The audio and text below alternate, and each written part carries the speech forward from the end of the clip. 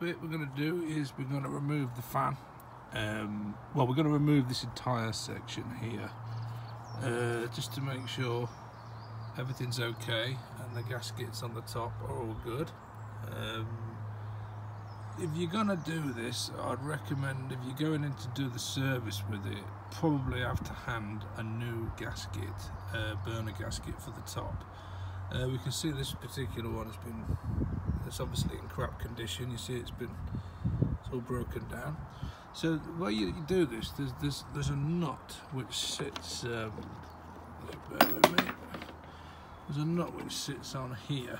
Okay, so once again obviously boiler isolated all safe gas off so you undo that uh, nut there and then what you want to do is pull the connections off the fan and the earth off the fan and then this entire section here well this won't move but this entire section all of this is connected all the way down to the gas valve so you undo your nut on your gas valve too. Now, effectively what you can do now is is take the entire fan assembly out. So on here, this will sit, I can get it back in to show you. So when you take that nut off, you'll have this plate, and this is a locking plate. This locks everything, this locks it back in position once you put it back in. So you remove this plate once you took the nut off, you remove your electrical connections off the fan. And then, see if I can do this one-handed. You turn the entire thing anti-clockwise. Let's just uh, pop that off there. So turn the whole thing and you'll see the lugs. See the lugs?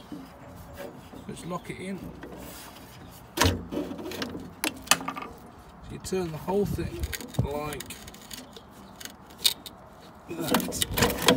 Okay, now you can see we've pulled, we've pulled it towards us. Right, now all you need to do is lift a bit of a bit of a wiggle, bit of a wiggle. Go right there that off there. So now we've exposed the entire, the top of the heat exchanger and the whole fan assembly comes out. Now, what you need to check on these when you take these out, and you need to be very careful when you're putting it back in, is this gas tube here.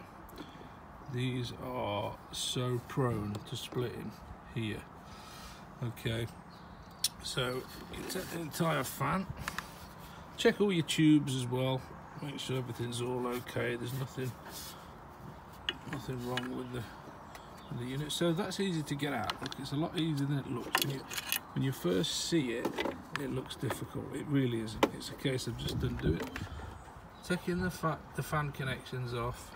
Taking the gas union off. Taking the nut off.